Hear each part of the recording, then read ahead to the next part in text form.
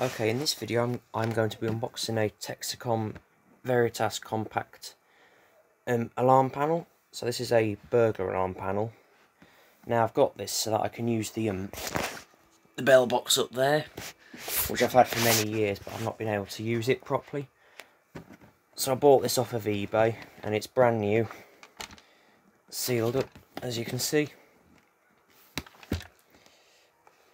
So yeah, I'm gonna just cut along there and open it up. Okay, so now I'm ready to open up the box. So this is the first time I've actually seen this. So inside the box there's a manual. Now this is the alarm panel itself. I'm not sure if there is a battery in here or not. No, it's just the, the transformer.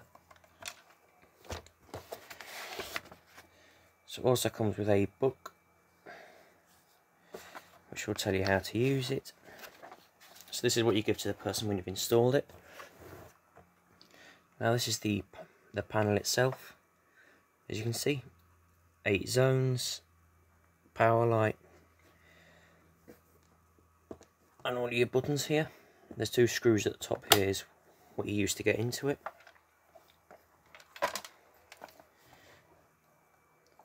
And these are the two um, mounting all the mounting holes on the back. That's your power supply. So I'm just going to open it up so we can see what's inside. Okay so this is now inside of the panel. That's where your power connection comes in. A fuse there on the live. Transformer here. This part here I think does the um, more the power supply side. A tamper spring there Here's all your connections here. And there's, a, oh, what's this? Uh, there's also a little speaker inside of this panel. So that's more or less it. Thanks for watching.